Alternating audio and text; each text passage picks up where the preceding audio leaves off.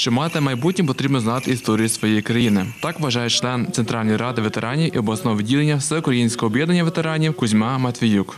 Повинні е, е, пам'ятати, е, ну особливо люди, пам'ятати слова нашого класика Івана Драчова, який сказав у 93-му році на міжнародній конференції, що найпершим уроком, який стає невід'ємною частиною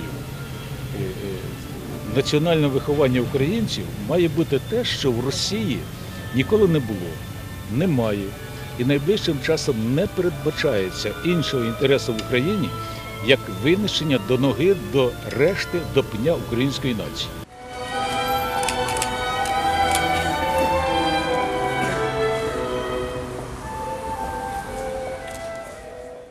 Учасниця заходу Людмила Коренівська каже, ці події потрібно пам'ятати завжди. Знання про них передавати наступним поколінням. щоб в подальшому не повторилася от така ситуація, яка була в ті часи. Тому що коли люди мали власну думку, вони її е, відстоювали, і за те, що вони її мали, їх якби за це карали. Такого не має бути, тому що е, кожна думка вона є важливою. В Україні День пам'яті жертв політичних репресій припадає на третю неділю травня. Андрій Гуменний, новини Поділля Центр.